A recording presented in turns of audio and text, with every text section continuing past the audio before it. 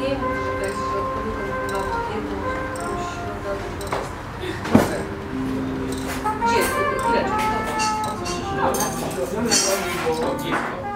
Podczas cyklu spotkań edukacyjnych na Sadywie kawiarnia Zegarmistrzaska zaprasza Państwa na przepyszny częstunek. Zapraszamy serdecznie.